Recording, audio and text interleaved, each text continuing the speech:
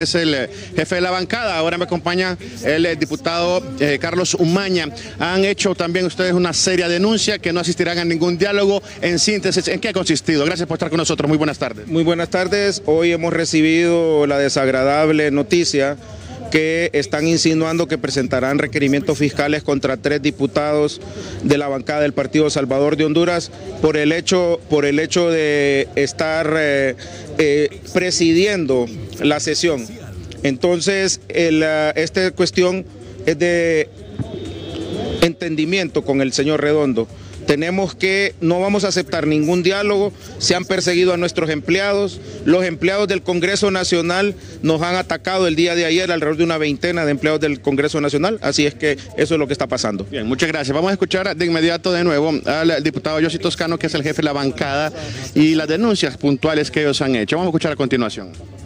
Tenemos listo nuestro equipo de abogados para accionar en cualquier momento y decirle a nuestras compañeras diputadas, al pueblo hondureño, que no están solas, que cuando la lucha es contra los tiranos, que cuando la lucha es contra los que quieren imponerse, siendo minoría, ahí es donde los verdaderos hondureños ya estamos probados y saldremos a defender a cada uno de nuestros militantes, de nuestros miembros y de los hondureños que están siendo perseguidos por intereses mezquinos de una clase política que no quiere cambiar y que no entendió el mensaje que el pueblo hondureño dio en las últimas elecciones.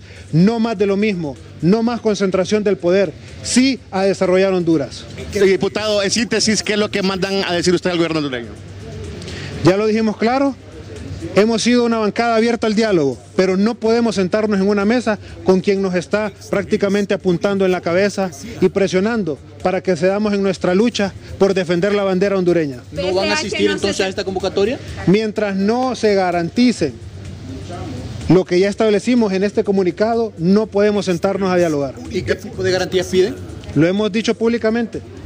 Ellos deben garantizar nuestra vida deben garantizar el cese a la persecución política contra nuestra bancada, contra nuestras diputadas y deben garantizar la estabilidad laboral de nuestros colaboradores que atendiendo su contrato laboral han estado día y noche trabajando con nosotros y no es posible que ahora reciban persecución y que sean sacados de sus oficinas. ¿Qué pasó hoy en las oficinas de doña Hiroshka Elvir? ¿Qué pasó? ¿Estaba cerrada? Estaba cerrada, hemos subido las fotos con, un, con una cadena y con un candado impidiendo que pudiéramos ingresar a esta oficina. Muchas gracias por su atención, saludo al pueblo hondureño. Muchas gracias al diputado eh, Yoshi Toscano, él es el jefe de bancada del Partido Salvador de Honduras. Eh, prácticamente han coincidido estas conferencias de prensa, una desde el Comité Central del Partido Nacional, otra desde el edificio Italia de aquí, en donde comparece pues el Partido Salvador de Honduras. Compañeros, esto es lo más importante que se está desarrollando a esta hora de la tarde. Yo voy a regresar con ustedes, las imágenes son de Darwin Rodas, pero aquí tenemos más diputadas. Por favor,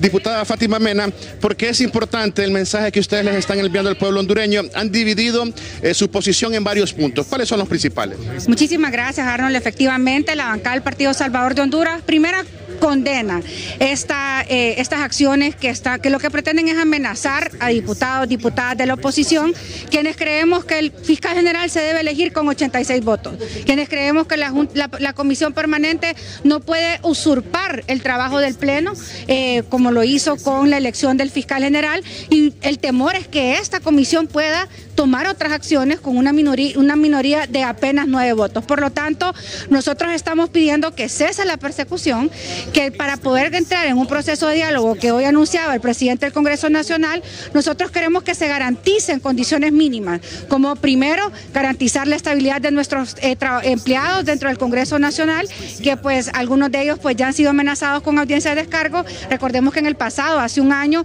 muchos de ellos fueron cancelados. Por lo tanto, nosotros básicamente queremos que eh, se den condiciones de igualdad para el diálogo, llamamos para que el fiscal se elija con 86 y ratificar que desconocemos tanto la legalidad de la comisión permanente como eh, la legalidad del nombramiento en interinato del fiscal general y adjunto. Muchísimas gracias, eh, abogada y diputada Fátima Mena por el departamento de Cortés. Compañeros, lo más importante que está aconteciendo a esta hora de la tarde, las imágenes son de Darwin Rodas, más información que se genera en otros puntos del país. Buenas tardes. Bueno, gracias Arnold, gracias Fanny y gracias también Luisa Nariva en esta cobertura de los diputados.